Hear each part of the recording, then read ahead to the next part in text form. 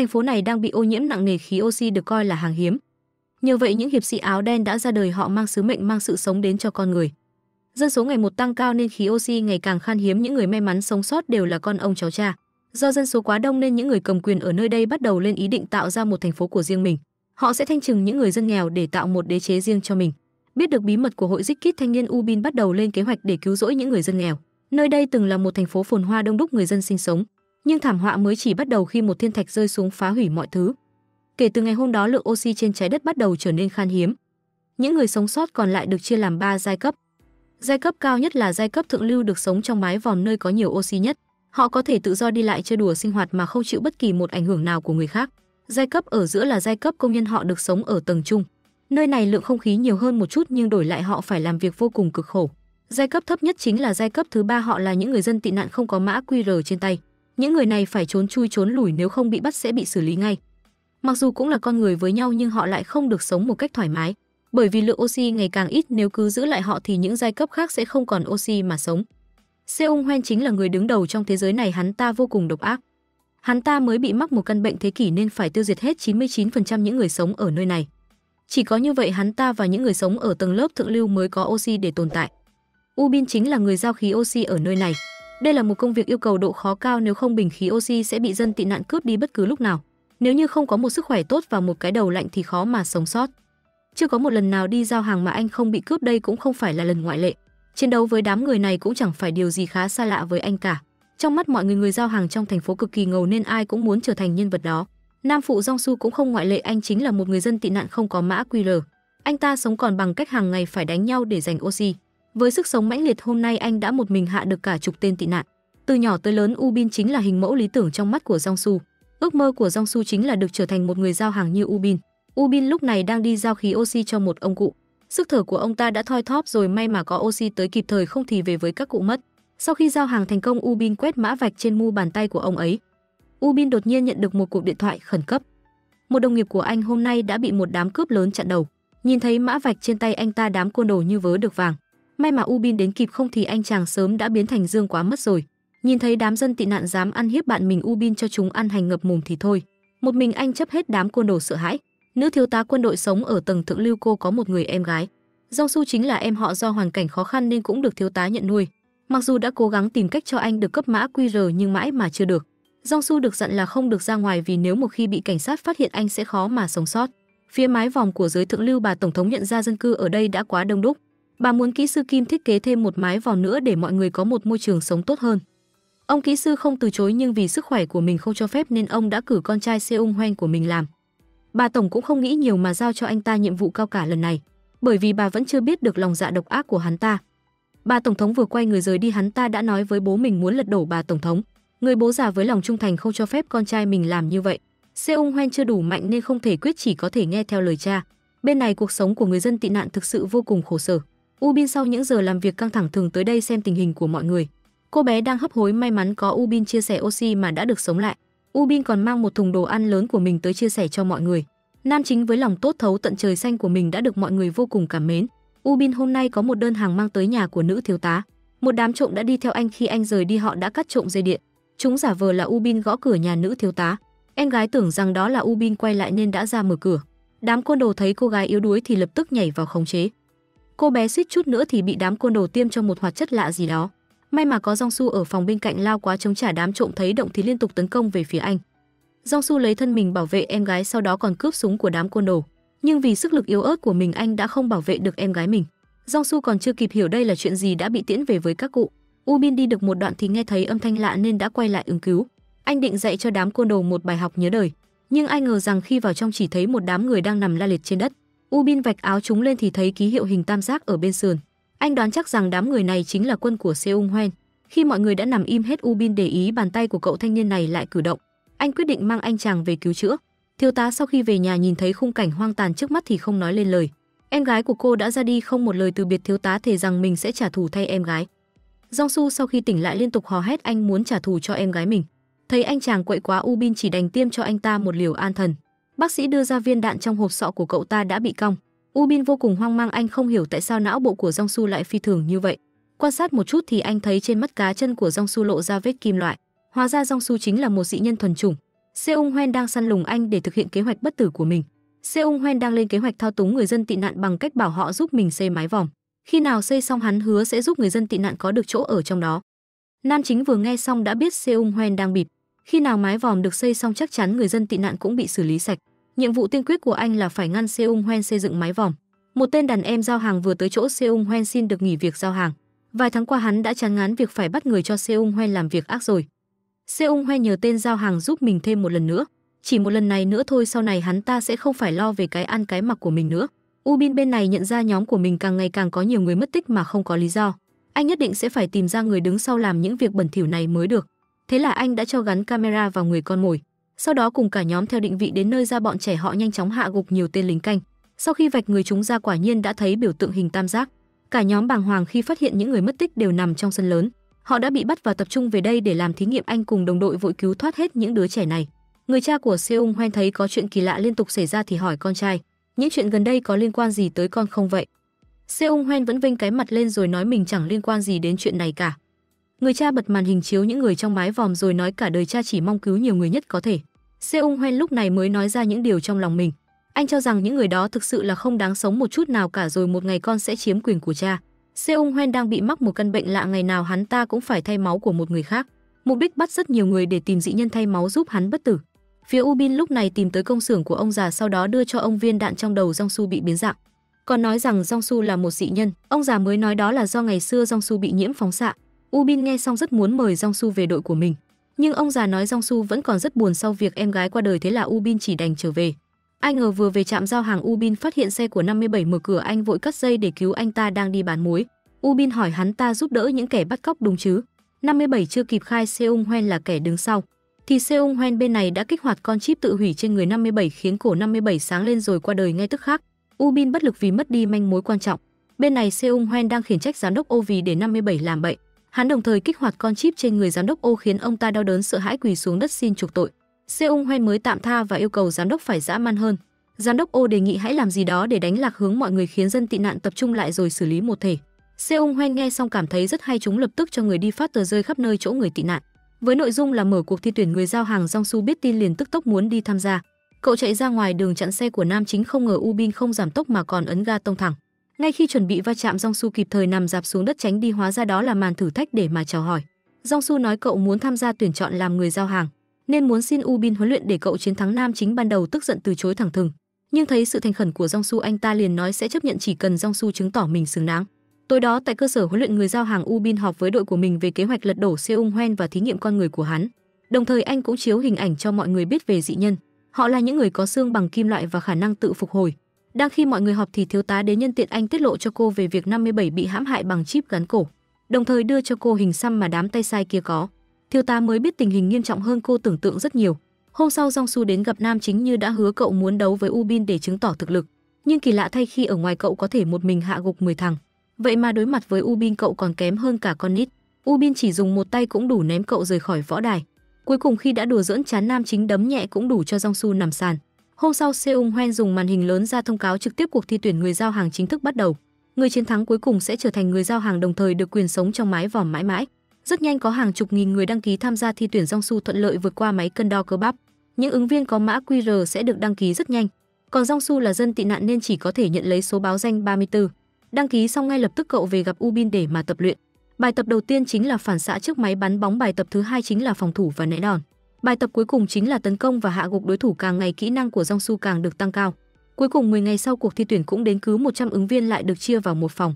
Họ bị ép đánh nhau hỗn loạn cho tới người cuối cùng trụ lại lượng oxy cũng sẽ giảm dần từ 100% về không. Thời gian gấp gáp không cho ai giây phút nào để thở 100 người điên cuồng đánh nhau loạn hết cào cào. Jong Su vì được nam chính huấn luyện tỏ ra vượt trội, không hoảng loạn mà bình tĩnh chiến đấu trước việc đánh hội đồng. Một lát sau lượng oxy giảm xuống còn vài phần trăm. Jong Su mệt mỏi rơi vào ảo giác về ngày em gái bị hãm hại. Đang chóng váng, cậu lại bị một kẻ tấn công, vậy là căn phòng chỉ còn lại hai người cuối cùng. Rong Su nghĩ tới em gái tạo thành sức mạnh đánh gục tên kia. Các bức tường hạ xuống cho thấy các phòng khác cũng đã kết thúc sát hạch. 800 người đã chọn được ra 8 kẻ đứng đầu.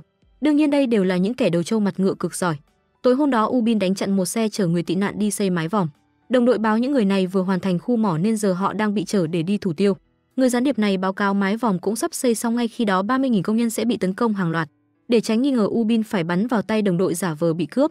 Seung Hoen biết tin xe thủ tiêu công nhân bị cướp vô cùng tức giận, hắn ra lệnh giám đốc ô mau nhờ quân đội giúp đỡ. Quay lại phía Jong Su đang được U Bin huấn luyện. Hôm nay cậu sẽ được học lái xe, ai ngờ Jong Su cướp bóc nhiều nên là một tay lái lụa. U Bin chán trả thèm đào tạo lái xe cho cậu ta nữa, hôm sau vòng chung kết giữa 8 người đã đến. Mỗi người sẽ phải giao một gói hàng đến đích. Trên đường phải tránh sự săn đuổi của thợ săn và hạ gục chúng. Thợ săn ở đây là các tử tù, thợ săn nào cướp được gói hàng sẽ được ân xá ngay lập tức. Cuối cùng trong 8 ứng viên sẽ chọn ra hai người đấu với nhau. Ubin cùng những người giao hàng sẽ giám sát đảm bảo công bằng, đồng thời tên chủ tịch Seung Hoen cũng đích thân có mặt. Bên ngoài 8 người tiến ra chọn xe Su chọn bừa một chiếc xe cực kỳ cùi bắp, bên trong đương nhiên là một gói hàng. 8 thí sinh dàn hàng ngang chuẩn bị đua xe ngay khi bắt đầu, tất cả đều tăng ga hết tốc lực, cố gắng hết sức để về đích đầu tiên. Nhưng cuộc đua này y hệt cuộc đua tử thần rất nhanh, đám thợ săn là từ tù cũng đã xuất hiện. Chúng điên cuồng xả đạn để cướp gói hàng các ứng viên vừa phải đua xe vừa phải né đạn. Hàng chục thợ săn đuổi theo phía sau bắn xối xả rất nhanh thí sinh số 2 trúng đạn đang xuất ngay tức khắc. Tiếp theo đó là xe của số 4 cũng đã bị lật xe số 3 là một cô gái đang bị áp sát. Cô gái nhanh trí rút súng hạ gục tên cướp này để đăng kịch tính Seung Hoen ấn nút cho tòa nhà phía trước phát nổ. Mọi người tăng tốc hết cỡ tránh các mảnh vỡ rơi xuống. Tòa nhà lớn sau đó đổ ập xuống ngang đường, những chiếc xe phía sau không kịp chạy đều bị đè nát. Jong Su rất may mắn mới thoát được lên màn hình báo lúc này chỉ còn 4 thí sinh nữa. Hai thí sinh dẫn đầu bắt đầu chèn ép xe nhau đám cướp thấy vậy thêm dầu vào lửa kết quả khiến xe số 5 nổ tung. Xe của Jong Su là số 8 đi sau cũng bị hai tên cướp đuổi cậu nhanh trí quay xe hạ gục, hai tên cướp đi mô tô. Tên cướp trên ô tô đâm thẳng đầu xe muốn ép cậu vào đường cùng. Jong Su nhanh trí lừa hắn đẩy cậu vào nhà sau đó quay xe phóng ra ngoài thoát khỏi. Không ngờ lại bị một tên cướp khác đâm ngang hông lật xe. Jong Su liều mình bỏ xe chạy bộ về đích nhưng thấy số 3 bị kẹt, cậu tiến lại giúp đỡ. Cậu vất hàng vào trong rồi đẩy xe giúp cô thoát khỏi xa lầy. Tiếc rằng đám thợ săn không chịu buông tha hai người vừa chiến đấu vừa cố thoát khỏi mắc kẹt. Đến khi xe chạy được rồi thì đám cướp đã bám đầy xe hai người lại vừa chạy xe vừa chiến đấu. Lúc nguy cấp, cô gái kéo phanh nhanh khiến cô cùng đám cướp bị văng khỏi xe ra ngoài trên xe chỉ còn mình Jong Su ở lại. Tuy giành được vô lăng, nhưng cậu thấy cô gái đang phải bắn nhau với cướp. Đồng thời, tên số 1 đã vượt qua cậu để về đích rồi Jong Su có thể bỏ mặc cô gái và chọn về đích. Nhưng cuối cùng, anh quyết định lùi lại cứu mạng cô nàng cậu vừa lùi xe vừa hạ bớt những tên thợ săn. Nhờ vậy cứu được cô gái thoát đi giữa làn mưa đạn hai người cùng nhau băng băng tiến về vạch đích. Nhưng bất ngờ ban tổ chức lại chọn cô gái tiến vào vòng trong. Hóa ra gói hàng của Jong Su đã hỏng vì bị đạn bắn Ubin rất tức giận liền đứng lên bỏ về. Lát sau Seung Hoe nhận được tin cô gái số 3 bị gãy tay xin rút hắn ta lập tức suy nghĩ ra một kế hoạch cực đều. Bởi vì Jong Su là người tị nạn lại cứu sống đồng đội về đích chọn cậu ta sẽ khiến dân tị nạn tập trung lại cổ vũ. Đến khi đó xử lý đám người tị nạn cũng dễ như ăn cháo mà thôi. Jong Su bên này nhận được tin mình vào chung kết vui ơi là vui, mà không biết chính mình sẽ hại hàng triệu dân nghèo. Lát sau thiếu tá cùng cấp dưới theo dõi một người bởi vì tên này có hình xăm ở cổ. Tên này cũng khá nhạy bén, hắn phát hiện có người theo dõi liền vội bỏ chạy tụt quần. Thiếu tá đuổi theo hắn tới một căn nhà hoang đang khi cô cẩn thận dò xét đột nhiên hắn xuất hiện sau khống chế cô. Thiếu tá giả vờ đầu hàng rồi bất ngờ quay lại phản công hắn. Hai người đấu tay đôi với nhau một hồi không ngờ tên kia vẫn nhặt được súng lên trước. Đúng lúc này đồng đội của thiếu tá đến bao vây nhưng tên này không chịu bị bắt mà nhấn nút tự hủy mất luôn tại chỗ. Kết quả thiếu tá vẫn chưa biết được Seung Hoen là kẻ đứng sau. Phía Jong Su được vào chung kết nên lần đầu được đến mái vòng. Gặp lại chị gái nuôi là thiếu tá cậu vui mừng khôn xiết. Thiếu tá chúc cậu chiến thắng để trở thành người giao hàng. Cuộc đấu giữa số 1 và Jong Su cũng sắp đến Seung Hoen cho mở rất nhiều màn hình cực lớn để mọi người tập trung theo dõi. Tên này rất vui vì mọi người đã dính vào bẫy của hắn ta. Tối hôm đó đội vận chuyển của Ubin cũng hành động. Anh trực tiếp ra chặn đường xe tải chở máy phát điện xây dựng mái vòng. Ngay khi chúng vừa dừng lại, đồng đội lập tức xông ra hạ gục đám này. Sau đó đặt bom cho nổ tung chiếc máy bay phát điện siêu khủng. Seung Hoe nhận được tin này từ giám đốc Ô khiến hắn tức giận vô cùng. Như vậy là việc chạy thử máy vòm sẽ phải hoãn lại. Hắn sau đó một mình đi xuống căn hầm bí mật, bên dưới là hàng ngàn cỗ máy để thí nghiệm. Trong mỗi cỗ máy là một con người Seung Hoe thí nghiệm họ như thí nghiệm sâu bọ. Mạng sống con người với hắn chỉ là cỏ rác mà thôi. Trước cuộc đấu chung kết Seung Hoen cho rất nhiều xe tải lớn ra ngoài. Trên mỗi xe đều là màn hình lớn để phát sóng trực tiếp cuộc đấu. Chúng đi thẳng đến khu dân tị nạn để họ tập trung theo dõi. Dân tị nạn không biết gì cứ vậy tập trung đến xem. Đồng thời Seung Hoen còn mang rất nhiều quà đến phát miễn phí khiến dân tị nạn không ai chịu xem ở nhà.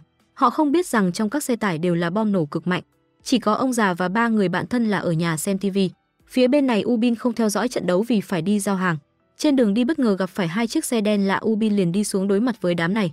Thấy đám này rút vũ khí, anh nhanh tay hơn rút súng trước hạ gục nhiều thằng một mình, anh phải đấu súng với mười mấy kẻ. Nhưng nhờ kỹ năng tuyệt đỉnh của mình, nam chính nhanh chóng hạ gục toàn bộ. Sau khi đánh ngất một thằng bất chợt, anh nhận ra sau gáy hắn có hình xăm thế là anh liền lấy con chip ra để bắt sống hắn. Cùng lúc này Jong Su và số 1 đã bước vào đấu trường, hai bên sẽ đấu với nhau tới khi một người bị hạ đo ván. Sau khi chào đối thủ số 1 tung cước Jong Su kịp thời tránh né. Quả nhiên tên này không phải dạng vừa mới đầu trận đấu đã lao vào dồn ép Jong Su liên tục. Rất nhanh đã đạp Jong Su bay đi, sau đó lao vào đánh cho cậu không ra hồn người. Jong Su chỉ có thể phản công yếu ớt đối phương đấm cho cậu ta học cả Shiro Trận đấu diễn ra chẳng khác nào một màn tra tấn người dân tị nạn đa phần đều cổ vũ cho Jong-su nên trông thấy vậy họ cực kỳ thất vọng. May là hiệp đấu đầu tiên tạm thời kết thúc bà tổng thống đến xem cũng cảm thấy thất vọng. Không ngờ bên dưới Jong-su vẫn cảm thấy rất tự tin. Cùng lúc này tại các điểm phát sóng cho người tị nạn mỗi nơi đều có các kẻ hình xăm sau gáy. Chúng đeo các ba lô cực lớn chứa đầy bom mìn rất nhanh hiệp thứ hai đã đến cứ tưởng hiệp này Jong-su dễ phản đòn. Ai ngờ cậu vẫn để đối phương đánh như bố đấm con. Đồng thời phía Nam chính đang tra khảo tên anh bắt được. Qua điện thoại của hắn, anh biết được kế hoạch hãm hại dân tị nạn của Seung Hoen. Mục đích tổ chức cuộc thi để tập trung hết người tị nạn thành cụm, sau đó đánh bom hãm hại toàn bộ một lần. U Bin trợn tròn mắt khi biết kế hoạch man dợ đến thế, cùng lúc này tên Seung Hoen ra lệnh bắt đầu nổ bom. Giám đốc ô tuân lệnh liền ra ngoài thiếu tá đồng thời cũng nhận được tin nhắn của nam chính báo đến. U Bin thì đang lái xe đi ầm ầm, anh kêu gọi đồng đội mau đến giải tán các khu người tị nạn. Thời điểm này Jong Su đã bị thương nặng bước vào hiệp cuối, anh vùng lên chiến đấu hết sức ngoan cường. Người tị nạn thấy vậy hết sức cổ vũ cho anh mà không để ý rất nhiều kẻ cảm tử đang ngồi ngay bên cạnh họ. Phía Dong Su chiến đấu một hồi đã chiếm thế thượng phong sau đó tung một cú đấm huyền thoại hạ gục đối thủ. Trọng tài kiểm tra tuyên bố Dong Su chiến thắng. Khoảnh khắc này khiến toàn bộ người dân tị nạn vui sướng vỡ òa. Dong Su là người tị nạn đã chiến thắng cũng giống như là dân tị nạn đã chiến thắng vậy. Dong Su vì quá vui mừng tháo khăn băng bó trên đầu làm lộ ra trên trán anh là vệt kim loại. Tên điều cáng Seung Hoen rất ngỡ ngàng khi thấy điều này. Không ngờ Dong Su chính là dị nhân mà bấy lâu nay hắn hằng tìm kiếm. Cùng lúc này, các quả bom được kích nổ toàn bộ 6 triệu người tị nạn, tất cả nổ tung.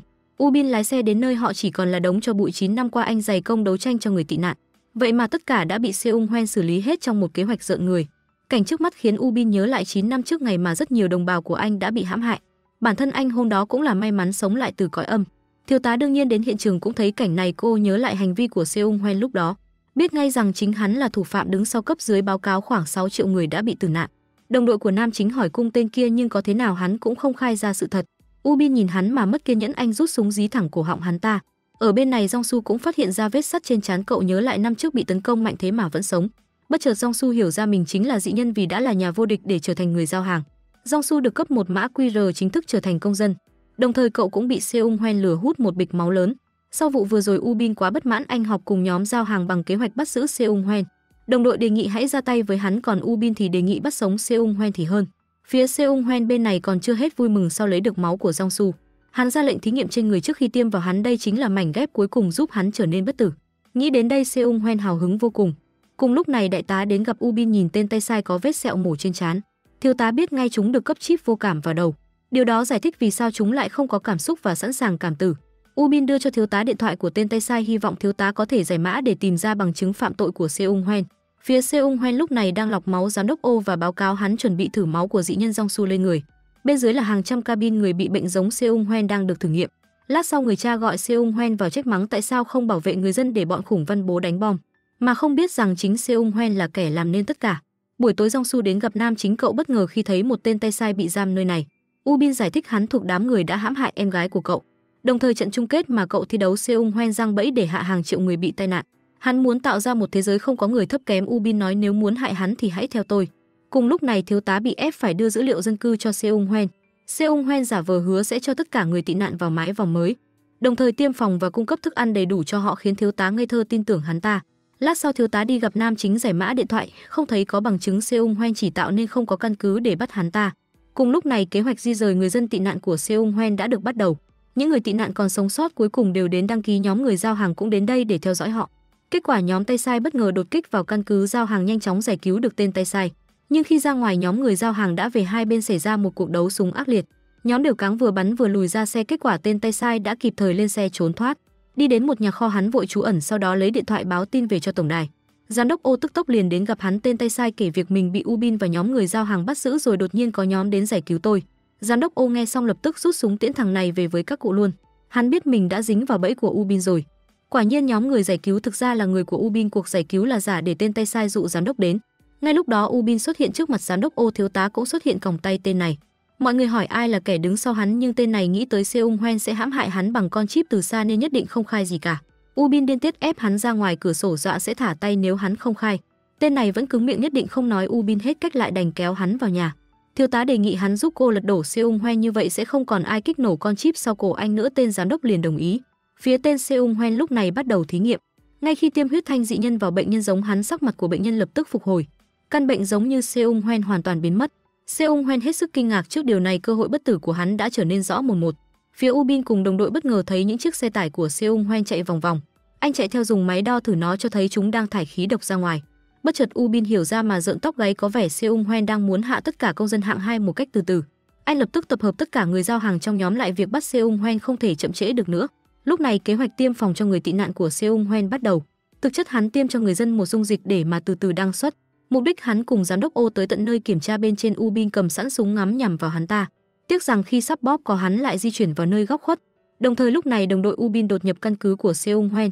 Họ hạ đám bảo vệ rồi sao chép dữ liệu sau đó đặt bom phá hủy các tủ điện trong nhà, khiến các xe tải đang xả khí độc mất điều khiển mà dừng lại. Quay lại phía Ubin đã tìm được thời cơ chuẩn bị bóp cò. Ai ngờ khi định nổ súng bất ngờ một khẩu súng ngắn chĩa vào anh. Rất may đồng đội của Ubin kịp thời bắn hạ tên này.